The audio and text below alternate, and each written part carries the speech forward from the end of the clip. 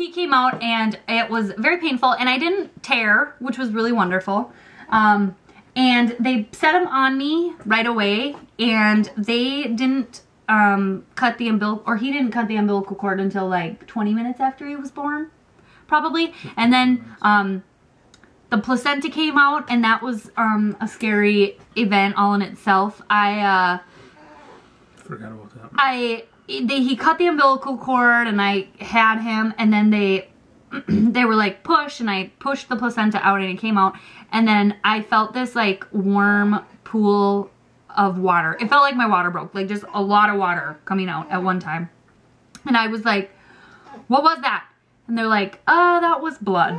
And I'm like, and my midwife kind of seemed like Concerned. concerned and I was like, is that bad? And she said, yeah, it's not good. So she kept, so then it freaked me out when she said that, like, oh, it's not it good It literally came out and pooled around me, around her and like probably halfway up her back. up my back, yeah. And the table was was angled up where she was pushing, and then flat. so it just kind of the, in this area it just like pooled. It was uh, a lot of blood. Yeah, and so they were all like concerned, like, okay, you need, um, if you have a natural birth, apparently after you're supposed to have a shot of Pitocin because it helps with the bleeding. And I was kind of like, I don't really want that. But they, after that, they were like explaining to me and then that happened and they were like, you pretty much need it. And I'm like, Just jabbed it in your leg. okay. So they jabbed it in my leg and, um, luckily after that, it wasn't that much bleeding, but they think the placenta like blocked. Yeah. So The basically, blood? the whole birth there was like no blood, Yeah. and all the bleeding that was happening during the birth was basically being blocked by the placenta. And so when Mm-hmm. the placenta came out, it just like It was like, it was literally, I felt it all around me and I'm like, ooh, what the frick is that? Happened and then, um, they, they frickin' uh, weighed him and we were, I mean, to all of our surprise, it was 8'6", and that was a huge surprise to us because as a lot of you know, um, he was measuring behind um, and small. And they were just like, I think he's just gonna be a little baby. And I was like, oh, okay. So I bought so much newborn stuff because I thought he'll probably be a newborn forever. Well, no, he was eight six So he was in newborn diapers for two and a half weeks, three weeks, and he got into zero to three months clothes at about three or four weeks, three weeks probably.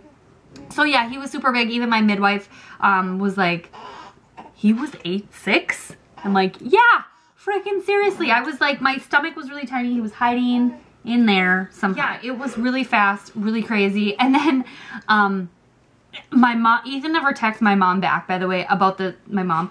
She never, he never texted my mom back, um, saying like, yeah, the baby's here. So they literally came in and I was like, they like came in like, oh yeah, and he said, we're in this room and I was like, hey, like, here he is. He's here already. And they were like, my mom, I knew it, I knew it. I should have left right away. I told you it was gonna be fast and blah blah blah blah. And it was it was pretty funny. They were like very surprised though, and my dad had no idea. And so so you went to park. yeah, he went to park, so he came up and my mom said, I said, text dad, he could probably come in here now too. And so my dad came, Your mom said, texted them basically just being like, "Oh, She's she's, just resting. resting. You can come in." Yeah, so he said, she's just resting. So he comes in with these bags of food and stuff or something. He comes in and then like is looking around and I have a video. I should attach it at the end of this video because it's so, he will have the video because it's so funny and just perfect. And he said, he like looked at me and I was like, he's here. And my dad like dropped his bags and was like, what? What? And then he came in and he was like half crying, half laughing, like, I, I didn't know you had the baby. I didn't know. And he was all like laughing slash crying. It was, it was perfect. So it was a really crazy experience. Like, I, when we text everybody, like we told Ra- we told Rachel as we left, it was like 4.15. Said, we're leaving, she's having the baby. And so then he texts her at like 6.30 and was like, he's here. And she was like, holy shit, that was so fast. And that's like how it felt. That's literally exactly what she said. Fast that everybody, like Ethan's parents, we text them at 6.30. He's here. And they're like, oh my God, like you guys just left like two hours ago. And the whole time from the time we got to the hospital till I had him was an hour and 22 minutes. So it was pretty crazy and yeah, something I will never forget. He's gotten really big now. Six weeks later, he's a big boy. So, um, yeah, let me know if you guys have any questions about it. I can do another video about more in depth about our midwife and stuff like that. Or about natural birth. I don't know if you have any questions.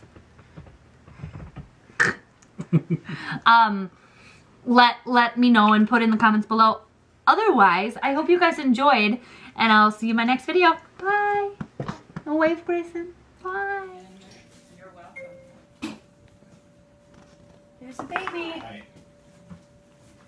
Here's your stuff.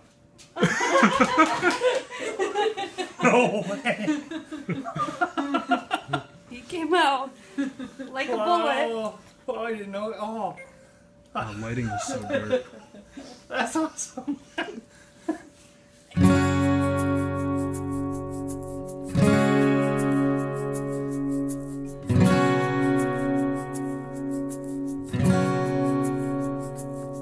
Now that she's back in the atmosphere with drops of Jupiter in her hair.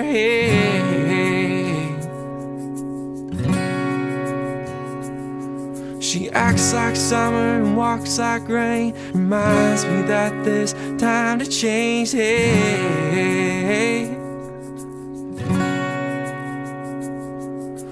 Since her return from her stay on the moon, she listens like spring, she talks like June. Hey, hey, tell me, did you sail across the sun? Did you make it to the Milky Way to see the lights all fading and that heaven is overrated? Tell me, did you fall for a shooting star? One without a permanent scar And did you miss me while you were looking for yourself out there?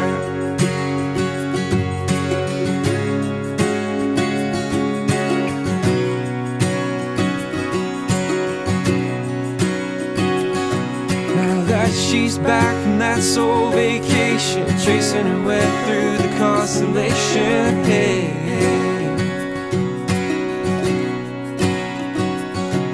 She checks out Mozart while she does Tae Bo Reminds me that there's time to grow, hey, hey.